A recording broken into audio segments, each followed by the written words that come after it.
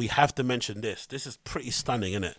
Regarding Kanye and Adidas, man. I think this is really, really interesting to see how this is playing out because you kind of get the feeling the Adidas executives are feeling a little bit regretful about pulling the trigger on Kanye, um, you know, on his flipping I love Hitler stances and all this other anti Semitic stuff he was saying when he was going crazy um, a few months or what back or whatnot, especially now that the numbers have kind of been laid bare.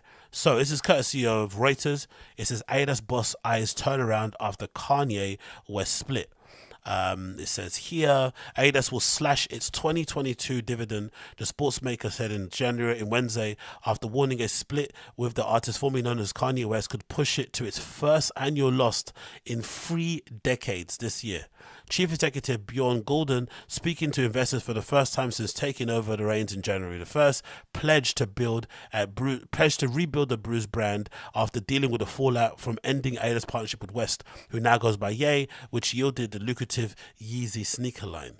Adidas has not said how much the Yeezy brand has made since its first deal with Ye at the end of 2023, but analysts estimate it accounted for as much as 7% of total sales in its best years imagine it only started in 2003 2013 sorry and it was nearly getting to and i guess if he would have continued on it probably would have accounted for 10% of adidas's overall sales. And consider adidas do more stuff than just originals. They've got performance gear they've got kids line they've got jerseys um, many other things i'm sure even stuff like bottles and stuff that they kind of license and whatnot. 10% was all yeezy. Insane the company needs to refocus on its core business and faces a transition year before returning to profit in 2024 and will return to its sports based roots, Gulden said you will see us invest in more sports because that is our DNA of this company, he told reporters. The company will recommend a dividend of 0.7 euros per share, down from 3.3 euros a share in 2021 at a May 11 annual general meeting, it said. Adidas shares recovered from last year's loss uh, to trade up to 1.6 by um, 3.30 GMT. They have outperformed rivals Puma and Nike, and since the start of this year, in a sign that investors back Gulden. We believe the shares um, fail to discount the time it will take to rebuild the brand and margins. But one of the biggest quotes to come from this was as follows, right? These quotes that I kind of pulled from Twitter. One of them saying as follows Adidas projects first annual loss in 30 years after split with Kanye West. The company is projected to lose 738 million 738 million for deciding that they couldn't, you know, weather the storm after Kanye went on Alex Jones donning the hardest Vetements jacket you've ever seen and declaring that he loves Hitler and stuff.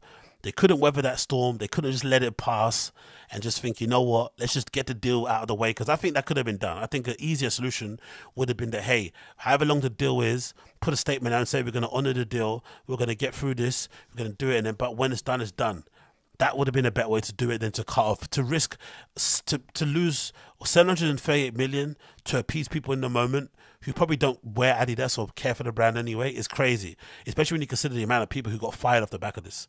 Think of the people who got fired the CEO obviously left, but think of every other person. Person, you know, there was. A, I remember there was an article um, about factories closing because those factories were originally only set up to meet demand of how successful Yeezy was. Obviously, all that blame could be laid at Ye's feet himself because he was a person that went on that tirade to say what he said. But still, they were willing to lose $738 million in order to appear somewhat quote unquote woke.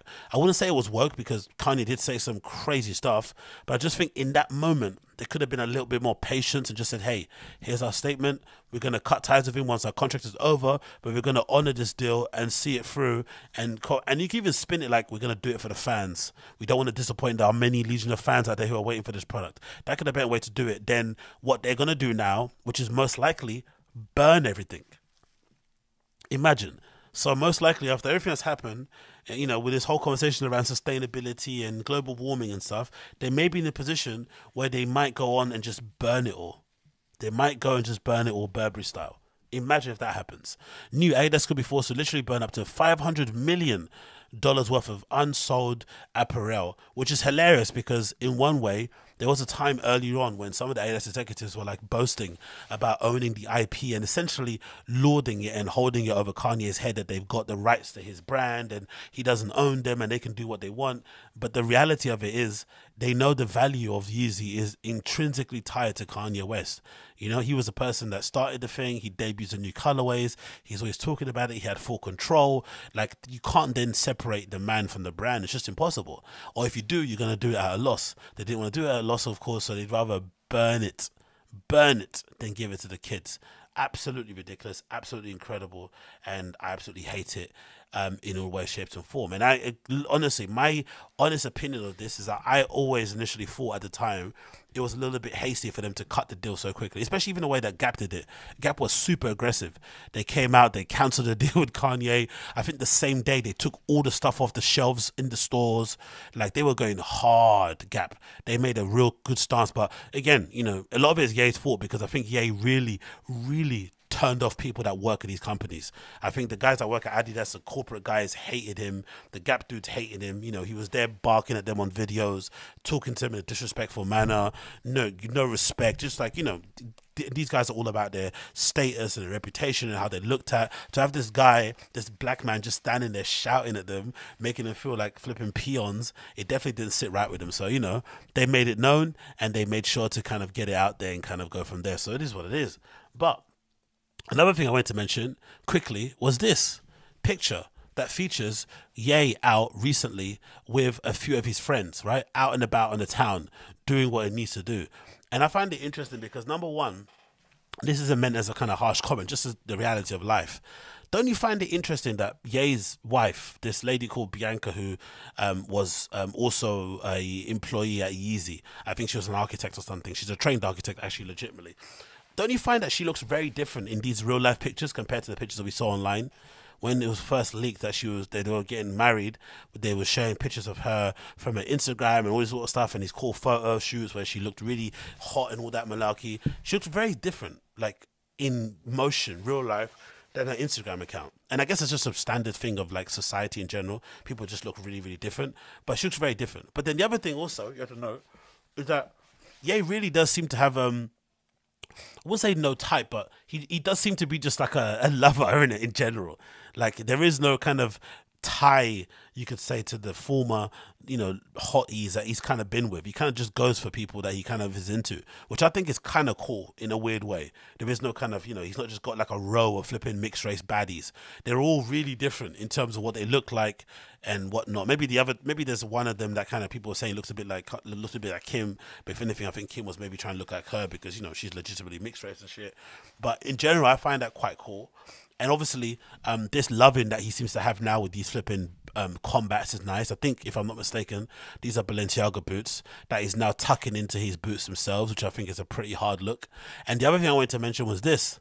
This guy here, this is that George, I think his name is George. Yeah, that's him, Guillermo Andrade from the brand 424. He definitely looks like he's been up a million hours. I wish I could see the picture of it to zoom in, but this is probably what fashion does to you. Running a fashion brand, running a store and whatnot. You know, he definitely looks like he's been up a million, a million and seven hours. But yeah, Kanye's looking good there. I'm not too sure if that jacket is up and coming Yeezy, but I know the combat pants are definitely Balenciaga because I recognize the, you know, the placement of the pockets and stuff. They fit amazing. They're kind of high waisted, the cinch at the waist, and clearly Kanye's been, um, you know, he's been on his flipping keto diet. He's doing intermittent fasting because he looks flipping tight and taut as hell in that outfit outfit and it fits him like an absolute glove and they look absolutely amazing. And this lady, for whatever reason, looks like she's covered in so many bandages and stuff like stuff as putting it together. But anyway, regardless, it looks cool and I loved it. So big up him. And then the other thing to also mention was this little um, quote taken from the CEO of Adidas, the new one, who said this. In my opinion, Ye is maybe the most creative, and I would say um, a person that has never been in our industry. So it's pretty clear that if this guy was around when Ye said what he said about Hitler and the Jews and just whatever else he said, he probably would have weathered the storm. He would have said, you know what, let's hold tight, let's sit tight, and let's kind of weather the storm. Because what we've seen so far, look at Balenciaga.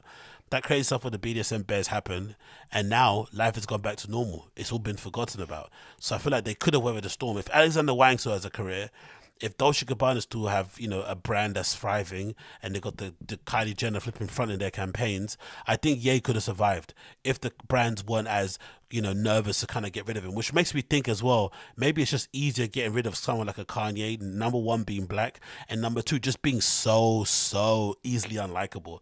Like he's just got a personality that you would imagine in real life must be so hard to get on with. So that probably makes it easier to kind of tell him to fuck off because you just don't like him as a person. And a lot of business you would imagine, especially at that kind of level, is on a sort of like relationship type of vibe, you know? If I vibe with you and you vibe with me, we can kind of make it work and we can maybe excuse certain things or look by certain bad sales figures and whatnot because that relationship is there. But if I don't feel the relationship is there and I don't feel that the respect is there, it's very hard to kind of do business. So that may be the reason why it kind of went where it went, in it. That could be the reason why it went where it went. But I find this really funny too. This clip is hilarious because look what's happened in culture. There was a time when being a Ye fan, people would think, "Oh my God, you're inspiring, you're motivational, you're driven, you're creative, um, you've got these really big lofty dreams about yourself and what you're trying to do and whatnot." But nowadays, because of a few risque comments and crazy stuff said online and stuff, Ye's name has been completely muddied. He's been completely stained and tainted now in culture to the point where when kids are dating, if you say to somebody that you're a Ye fan, it immediately elicits this following reaction. Are there any type of philosophers that you would say you find yourself really akin to or that like really have influenced you? Uh, Kanye West, Steve Jobs, and my father. Did you just say Kanye West? he creates culture. He creates conversation. He changes people's minds. but he's anti-Semite, and he's against. Well, but like, but the thing that. How is? Yeah, I know, I know, I I know, but as far as oh. Kanye West. I'm sorry. As far, uh, as far as his comments on like the anti-Semitic stuff, stuff like the "I like Hitler," I don't, I don't really. Sorry to interrupt. I'm gonna, I'm gonna end this.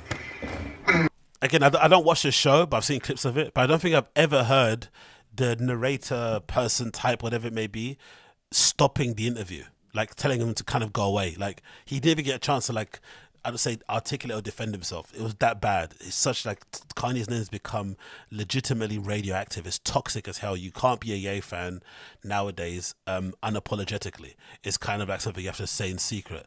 But it's also funny that he didn't make any attempt to be like, hey, I love him as an artist. I like what he does, but I just don't agree with some of his views. I like the fact that he tried to kind of sit in the yeah. He can say what he wants. This is Yay. Ye. Ye's like to say what he wants. But unfortunately, saying that would damage your ability to would damage your ability to flipping connect with certain people. That's a that's ability. Oh man, I I love it. I absolutely love it. Anyway, continue. What's it gonna here to talk about? Oh, let's talk about this. What people are saying here, chat. Um, why did yeah uh yeah what does what did yeah what did, Mr. Note says wow did AZ just say Adidas found it easier to fire Ye because he's a black guy AD, AZ doesn't think Nazi support isn't a big issue is this typically a black no I didn't say that you were putting words in my mouth Mr. Note I did not say that they found it easy just because he's black and not because of what he said. I said those things could have played a role in it because we've seen other people from other cultures say crazy shit, do crazy shit. Some of them go to prison for crazy shit and come out, and stuff is definitely different from them than it is for other people in other cultures. It just is what it is. Let's not try and kind of rewrite the narrative on this one. It just simply is what it is. Um, I still just think especially when you think about what happened. Look at Alexander Wang being a good example. And again, he's Asian, so it's not even a black thing. It's just societal thing. I don't know. Maybe it's a black thing specific. I don't know. Alexander Wang was accused of, and there was also corroborating evidence that he was spiking guys' drinks during fashion weeks and sexually assaulting them to the point where some people were going as far as saying that Alexander Wang may have purposely may have raped some of these guys allegedly. I'm not saying he did or didn't, but allegedly he may have raped these guys. And Alexander Wang is a very popular, very well-known fashion designer with a brand of his, you know, with his name on it. He's very visible out there. But for whatever reason, you know, the charges against him or the accusations kind of going to drop because I think he raised a resolution with the guys who accused him of what they accused him of. And again, I'm not going to blame the dudes for settling because, you know, sometimes going through the court system and all that sort of stuff and trudging up trauma can be difficult. But they forgave him. But for some reason, the industry also forgave him and just turned a blind eye to it like it didn't happen. But I just honestly think, like, look at somebody like an Ian Connor, for instance. He's been accused of what he's been accused of, and you can believe it, you cannot believe it Um, but it's gone where it's gone to, and he's you know every time he puts out a tweet, you'll see people writing you know 32 or how many victims he allegedly has or whatnot, and it hasn't been able to go away from him. And ever since then, you know he's not really been invited or allowed back into the you know to the arms of industry or whatnot because of that stain he had his name. But Alexander Wang gets write ups on Vogue.com and stuff. He's able to do ads with you know certain brands or whatnot the rules are just different. I don't know why it is like that, but the rules are different for some reason. And I just feel like, considering what we saw with Balenciaga and those BDSM bears, you would think in this world that we live in now, especially given how sensitive people are to issues concerning kids and pedophilia and abuse and all this sort of stuff and you know subliminal messages and whatnot, you'd think in this sort of era, if a brand did what Balenciaga did, you'd think that'd be the end for them. But it wasn't.